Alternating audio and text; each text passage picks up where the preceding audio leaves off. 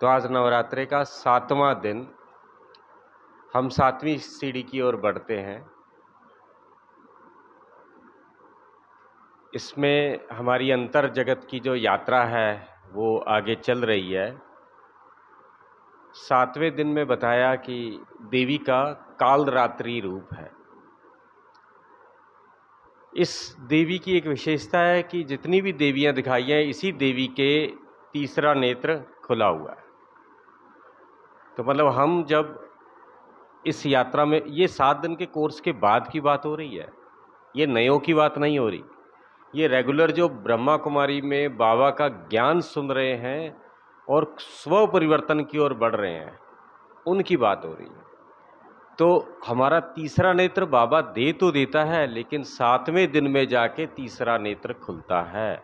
आपको पता है, सातवें दिन का कोर्स ख़त्म होता है और सातवें दिन ही मुरली सुनानी शुरू करते हैं तो तीसरा नेत्र खुल जाता है। इस दिन दिखाया कि एक शुंभ निशुंभ एक राक्षस थे। उन्होंने देवताओं को हराकर स्वर्ग पर आधिपत्य कर लिया। उनकी सेना में चंड मुंड राक्षस थे। मधु, कैटब तो अभी पिछले कल के दिन में आपको बताया तो शुंभ निशुंभ के बाद थे चंड मुंड, रक्त बीज भी थे।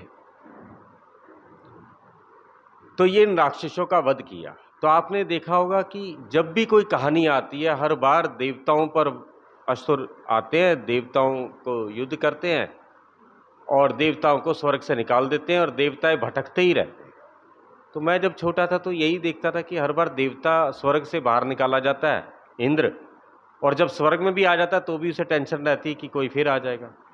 और हैरानी वाली बात है, सभी राक्षसों को वरदान या तो विष्णु ने दिया है, या शिव ने दिया है, या ब्रह्मा ने दिया है। और तीनों ही दुनिया चला रहे हैं, और तीनों ही इस संसार में शांति की और प्रेम की स्थापना कर रहे हैं। लेकिन धीरे धीरे पता लगा जैसे जैसे ज्ञान में आगे बढ़ते हैं तो उन्होंने नाम लगा दिया, ब्रह्मा, विष्णु, शिव से वरदान प्राप्त किए। लेकिन भगवान का ही ज्ञान पाकर कालांतर में दुनिया में अहंकार आया और यहाँ हम बीके में भी शुंभ निशुंभ प्रकट हो जाते हैं, चंड मुंड प्रकट हो जाते हैं। अभी मैं बीके के भी छोड़ रहा हूँ, मैं अपनी बात कर रहा हूँ, क्योंकि ये मेरी यात्रा है। तो शुभ निशुभ राक्षस हैं, इच्छाएँ और वासनाएँ राक्षस हैं। ये संदेह है शुंभ और निशुंभ अपने पर संदेह, दूसरों पर संदेह, संशय। जब इस ज्ञान मार्ग में आते हैं तो कई बार आपको अपने पे भी संशय आएगा कि मैं इस ज्ञान मार्ग पे चल नहीं सकता। या दूसरों पे संशय आएगा कि सच में ये उस लायक हैं जो हमें समझा रहे हैं। तो काल रात्रि रात्रि मतलब अज्ञान, काल का मतलब समय। समय का ऐसा दौर जब अंधकार हो, ये वाला अंधकार नहीं जो रात्रि दिखाते हैं, अज्ञान रूपी रात्रि हो। और जब मैं अभी अंदर ही नहीं गया तो मुझे ये भी नहीं पता मेरे अंदर अंधकार और अज्ञान है। जब मैं अंदर जाना शुरू करता हूँ तो मन भी घबराता है अंधकार से शुरू शुरू में, कि अंदर क्या है? अपनी कमियाँ, बुराइयाँ, वासनाएँ नज़र आती हैं। इसलिए कई लोग कहते हैं, आँख खोल के योग नहीं होता और आँख बंद करके दिल घबराता है। दोनों चीज़ों में। तो कहा, उनका एक दैत्य था रक्त बीज। उसको वरदान था कि उसको जब भी मारा जाएगा, उसकी एक भी रक्त नीचे गिरेगा, बूंद। तो वो एक और राक्षस पैदा हो जाएगा। तो जब काल रात्रि एक हाथ में लोह खंड है उसके, और किसी देवी के हाथ में लोहा शब्द यूज़ नहीं हुआ हम कह सकते हैं तलवारें वगैरह लोहे की बनी हो, लेकिन उस समय कहते हैं चांदी, सोना जो भी। लोहो शब्द केवल एक में ही आया है काल रात्रि मतलब जब लोहो युग शुरू हो गया या अंत आने वाला हो, तब देवियों की आवश्यकता थी। तो ये हमारे अंदर की चीज़ बताता है कि जब मैं ध्यान में बैठता हूँ, बाबा के ज्ञान में चलता हूँ तो मेरी इच्छाएँ उत्पन्न होती है। इच्छाओं का प्रतीक है रक्त बीज। आपने नोट किया होगा, एक इच्छा मारो तो दूसरी आ जाती है। एक इच्छा से सौ इच्छाएँ पैदा हो जाती है। आपने इच्छा करी कि घर होना चाहिए तो आपका घर आते इच्छा खत्म नहीं हुई। अब घर दो मंजिल का होना चाहिए। पिछली बार बताया, तीन, चार, इच्छा हुई कि हमारे बेटे का विवाह होना चाहिए। एक इच्छा है बस। कई लोग आते हैं हमारे पास, बस बच्चों का विवाह हो जाए ना, फिर हम फारिग हैं। हमने देख लिया बच्चों के विवाह के बाद वो कितना फारिग है। उसके बाद इच्छा हुई, उनका पुत्र या पुत्री हो, फिर उसको पाल रहे हैं। फिर वो थोड़ा सा बीमार तो हम बीमार। तो इच्छाएँ इच्छाएँ इच्छाएँ इच्छाएँ। जिस एक इच्छा को पकड़ो, उसको मारने का प्रयास करो, उस इच्छा के बूंद से एक और इच्छा निकल जाती है, और एक इच्छा निकल जाती है। अभी भी हम बैठे हैं, दो साल बाद जो इच्छा अभी पैदा नहीं हुई है, हमें नहीं पता। आज डेट नोट करना, दो साल बाद हम एक ऐसी इच्छा से लड़ रहे होंगे जो नई इच्छा तैयार हो रही होगी बच्चा आपका पढ़ लिख गया, आप कहते तो पढ़ लिख जाए, पढ़ लिख गया, अब उसकी उसको, उसकी नौकरी की इच्छा है कि नौकरी लग जाए। मतलब माँ बाप सब बाहर के इच्छा में मेरी भी इच्छाएँ इच्छाएँ इच्छाएँ इच्छा यहाँ भी इच्छाएँ उत्पन्न होती है। जब हम ज्ञान योग में आगे बढ़ने लग जाते हैं तो अहंकार आता है कि मैं योगी हूँ। मैं जो यहाँ संदली पे मुरली सुनाती है, निमित्त उससे भी अच्छा सुना सकता हूँ, उससे भी अच्छी सुना सकती है। और इनसे ज़्यादा समझ मुझमें कोई मेरी प्रशंसा कर देता है निंदा कर देता है, स्तुति कर देता है। तो निंदा स्तुति भी एक राक्षस है। कहते विष्णु की कान से सो रहे थे तो विष्णु की कान से मैल से उत्पन्न हुए थे मधु कैटअप कल जो मारे। मतलब कान के द्वारा ही निंदा और स्तुति अंदर जाती है ना। आप कान बंद कर लो तो निंदा पता लगेगा कोई आपके आगे क्या बोल रहा है और स्तुति पता लगेगा। तो निंदा स्तुति जो उत्पन्न होते हैं, उनका भी वध किया जाता चंड मुंड का वध किया। चंड होता है सिर, मुंड होता है धड़। कुछ लोग ऐसे हैं जो सोचते ही रहते हैं, करते कुछ नहीं है। और कुछ लोग कर देते हैं और उसके बाद भी नहीं सोचते क्या कर डाला। इन दोनों तरह के कर्मों से संसार का भी बुरा हो रहा है और हमारा भी हो रहा है। हम रोज समझते हैं, कल से कल से। सुबह टाइम से आएँगे, टाइम से उठेंगे, ये चंड सोचता रह रहा है, करता कुछ नहीं। और मुंड जो नहीं करना चाहिए, वो रोज कर डालता है। तो चंड मुंड करे, चामुंडा देवी बोलते हैं।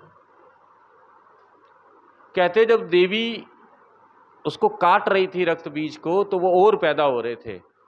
तो कहा, उसने जो उसको तैयार करा देवी के अंदर से, जो निकली चंडिका तो कहा, अपना रूप बड़ा करो और इनका भक्षण कर लो।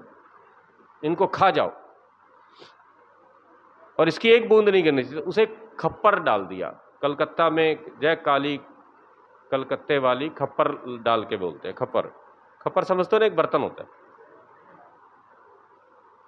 तो उसकी एक एक बूंद नीचे नहीं गिरने दी, उसने खप्पर में दे मतलब आपकी एक भी इच्छा अनियंत्रित होके रूप ना ले, पैदा ना हो पाए। बीज मतलब कोई भी इच्छा का बीज उसको अंकुरित मत होने दो।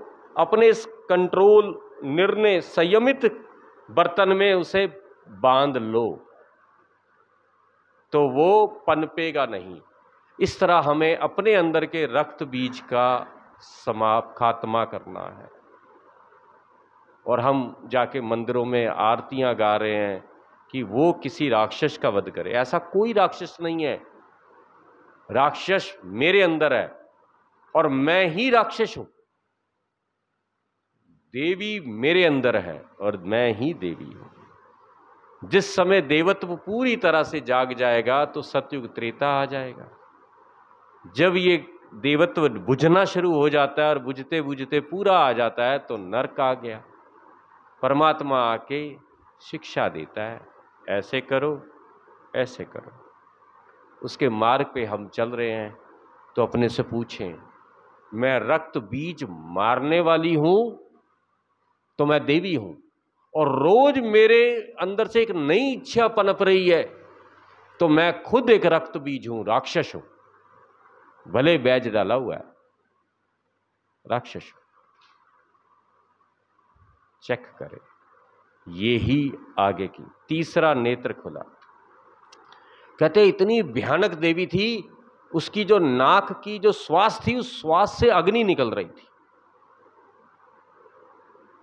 मुख से इतनी भयानक आवाज़ें निकल रही थी कि लोग काँप रहे थे। और वो कुपित हो रही थी, क्रोधित हो रही थी। अच्छा देवी भी क्रोधित हो सकती है क्या? एक तरफ़ से क्रोध को हटा रही है। हाँ इन राक्षसों में एक धूम्र विलोचन भी था। आरती में गाते हैं, धूम्र लोचन मारो सुर हीन करे। लोचन मतलब आँख और धूम्र मतलब धुआँ। कहते ना धूम्रपान, धुआँ। आँखों में धुआँ मतलब जब आँखें धुंधली हो जाती है। एक समय ऐसा आता है, हमें कुछ दिखना बंद हो जाता है। जब पवित्रता खंडित हो जाती है तो धूम्र लोचन हमारी आँखें धुंधली हो जाती कुछ दिखता नहीं है। और जिसको कुछ दिखता नहीं है, वो हर जगह टकराता है। कुछ का कुछ समझ लेता है, कुछ का कुछ समझ लेता है। अच्छा ऐसा का ऐसा का ऐसा का ऐसा का। जब हम ज्ञान मार्ग में आ जाते हैं तो बाहर वालों की बातें सुनना बहुत आसान हो जाता है। उनको तो हम छोड़ देते हैं। अरे, बेचारे अज्ञानी, इन्हें क्या पता? लेकिन पेपर तो आएगा। पेपर तो आएगा। फिर अपनों से आता है। जिनके साथ रहते हैं, जिनके साथ सेवा करते हैं जिनसे सुनते हैं और जिन्हें सुनाते हैं, और पेपर अंदर से भी आता है। कई बार हम ही अपनी वासनाओं, विकारों के तहत अंधे हो जाते हैं, हमें कुछ नहीं दिखता। और जो भी कोई अंधा हो जाता है, मैंने किसी से एक बार पूछा, दीदी से कोई अपनी काउंसलिंग के लिए आया? मैंने कहा, दीदी ने आपने बताया क्यों नहीं कि गलती इसी की है? कह रहे, अभी ये सुनने लायक ही नहीं सुनने लायक नहीं है। दस पंद्रह मिनट अपनी प्रॉब्लम सुना के गया। और सबको प्रॉब्लम बता के गया घर में, जो लोग के घर में। पता लगा कि वो ही प्रॉब्लम है पूरे घर के लिए।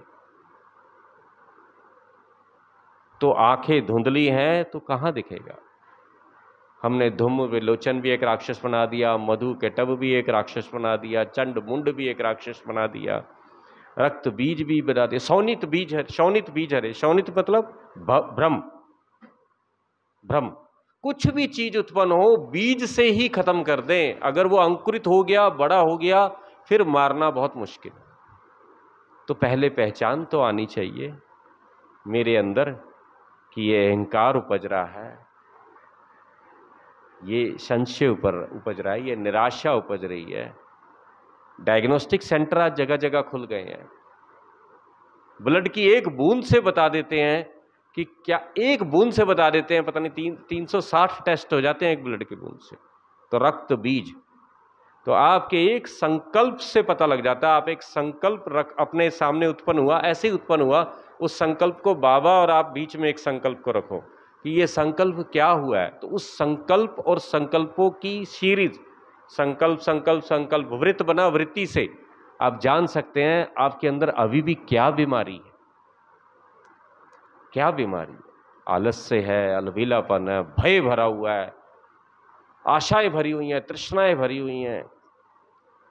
भगवा डालकर भी कोई सोचे, मैं फ़िल्म स्टार बन जाऊँ तो दोनों अपोजिट हो गए ना? तो इस तरीके से अपने रक्त बीज का सहार करता ये सातवीं सीढ़ी है। कल हम जानेंगे महागौरी। और परसों जानेंगे सिद्धि रात्रि। तो आज के लिए इतना ही। सच्चे नवरात्रे मनाएँ। ऐसी नवरात्रे ज्योति जगती रहे कि इस रात्रि, अज्ञान रात्रि में भी अंदर से प्रकाशित रहूँ। यहीं जो की खेती करे, जो बोएँगे, वो ही काटेंगे। ओम शांति।